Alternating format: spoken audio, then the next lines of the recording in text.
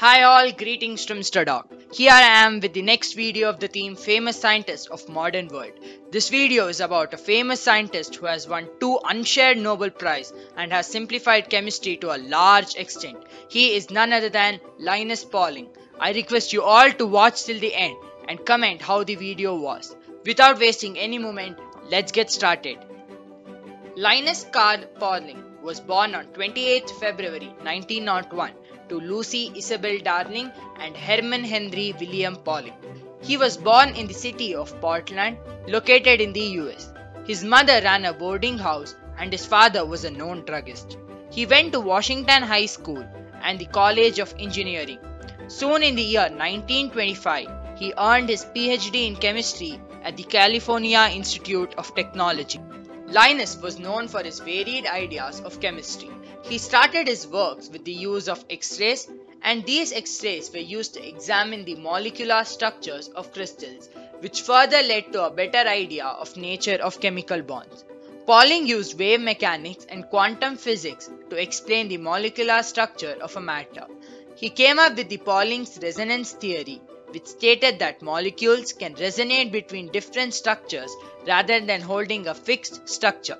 This was caused due to the movement of pi electrons, which led to the varying structures of the matter. This theory of Linus simplified chemistry and the insight made possible the creation of many dyes, drugs, plastics and synthetic fibers. These ideas can be found in the series of papers which is collected to form a book called The Nature of the Chemical Bonds and the Structures of Molecules and Crystals. Pauling was also interested in the organic part of chemistry. By the mid 1930s, he was performing successful magnetic studies on the protein hemoglobin. He developed further interest in proteins and along with the biochemist Alfred Mirsky, he started his research. In the year 1936, he and Alfred published the paper on general protein structure, in which they say that the protein molecules generally coil into specific configurations, but they uncoil when some weak bonds break.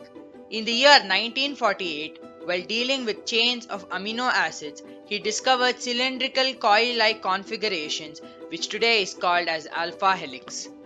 In one of his trips to New York, he met Karl Landsteiner, the discoverer of blood types.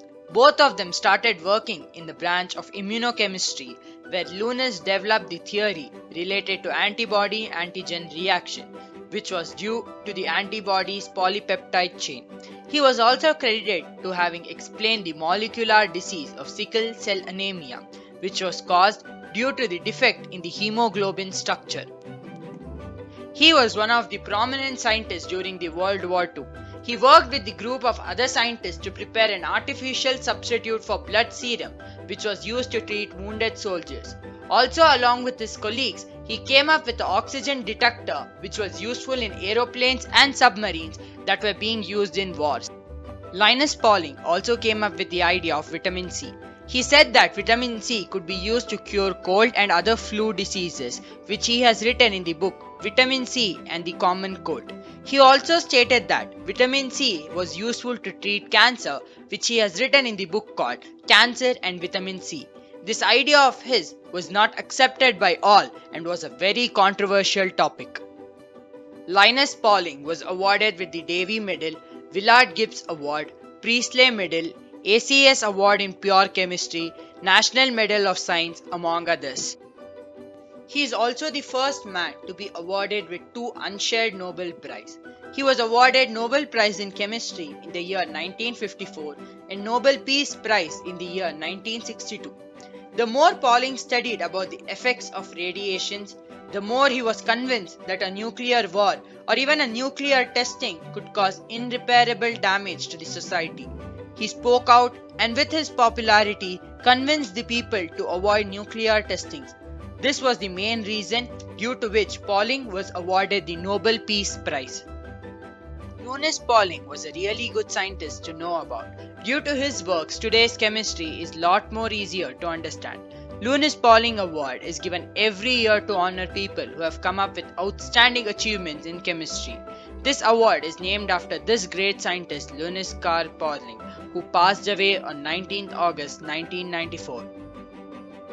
This was the brief documentary about Linus Pauling. Hope you liked the video and learned from it. Please do subscribe to my channel and like, share, comment on my video. We'll be back with a new video about another great scientist. Until then, thank you.